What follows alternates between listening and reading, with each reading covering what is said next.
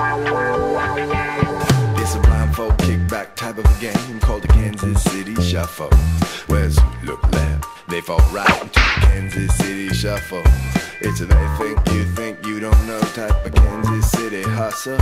Where you take your time, wait your turn, and hang them up.